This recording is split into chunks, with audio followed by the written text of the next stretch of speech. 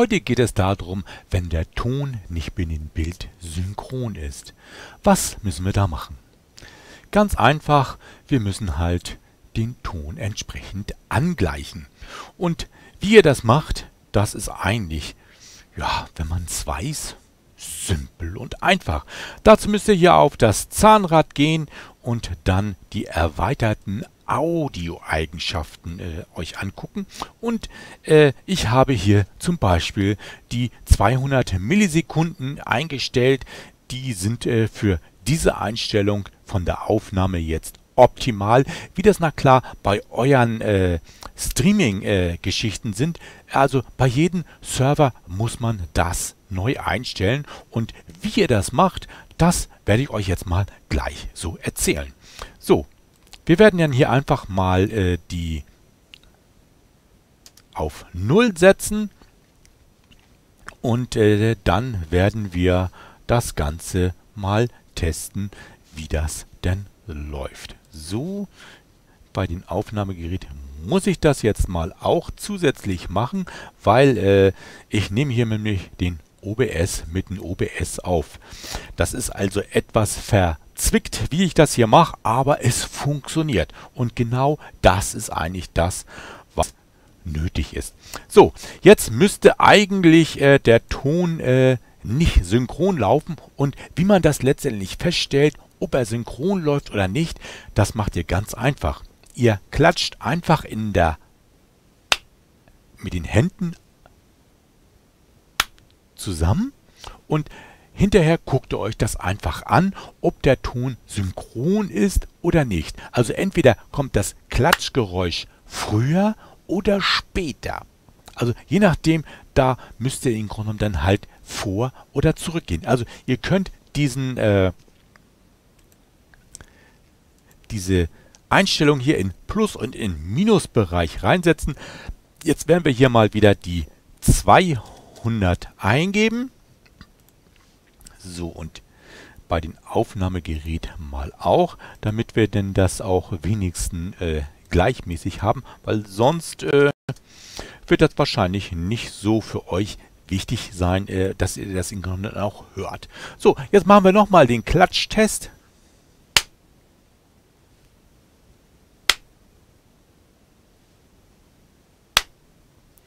So, um euch zu zeigen, wie das ist, wenn ihr übers Ziel hinausgeschossen seid, werden wir einfach mal äh, die Einstellung in Extrems verwenden. Und zwar geben wir da dann jetzt einfach mal 1000 Millisekunden äh, Verzögerung oder Verschiebung rein, um dann euch auch äh, zu zeigen, ja, was, äh, wann weiß ich, ob es zu viel oder zu wenig ist. Und äh, ich muss euch wirklich sagen, es kann sein, wenn ihr eine Aufnahme macht, dass ihr im Grunde genommen eine andere Verzögerung braucht, als wenn ihr über einen besonderen Stream äh, das macht. Also es muss nicht immer äh, die gleiche Einstellung sein. Es kann also auch sein, dass ihr im Grunde genommen notfalls äh, unterschiedliche Einstellungen braucht und dann müsst ihr halt äh, einen Kompromiss machen, äh, ja, von Aufnahme zu äh, Stream und ja, müsst ihr einfach ausprobieren. Also das kann man nicht vorher einfach so sagen, so und so muss es sein oder so und so kann es funktionieren. So, und jetzt machen wir nochmal den Klatschtest.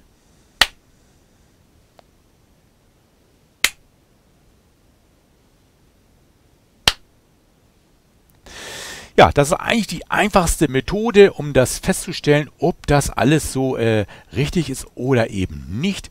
So, dann alles auf die 200 Millisekunden einstellen und dann äh, haben wir im Grunde das schon mal erledigt. Ne?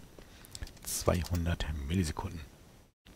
Wenn ihr jetzt allerdings äh, verschiedene Einspielungen habt, äh, dann habt ihr hier äh, noch ein paar mehr äh, Eingänge äh, und da müsst ihr dann auch immer gucken, ob da diese Synchronität im Grunde gewährleistet ist oder ob ihr da im Grunde genommen das so machen. Also bei Musik ist das ja völlig egal. Aber wenn ihr vielleicht äh, Musikvideo einspielt, kann es sein, dass ihr auch für dieses Musikvideo eventuell, äh, wenn also das nicht synchron übernommen wird, äh, dass ihr dort eventuell auch irgendwas noch äh, äh, korrigieren müsst. Also das ist einfach etwas, das müsst ihr auf, ausprobieren.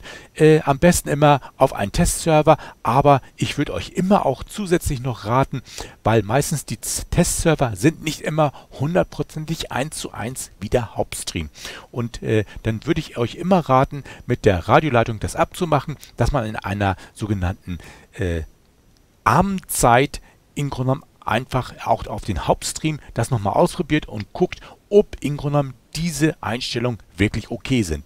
Und wenn ihr das dann alles gemacht habt, dann würde ich euch immer raten, macht unterschiedliche Profile für Stream und für äh, Teststream weil dann habt ihr immer die optimale Einstellung, weil das wird dann alles entsprechend äh, in den Profil und in den Szenensammlungen letztendlich abgespeichert, welche Einstellung ihr letztendlich da gemacht habt. So, das sind ja schon mal äh, die Sachen für den richtigen Ton und äh, wie das mit dem Bild aussieht, das werden wir euch auch noch erklären.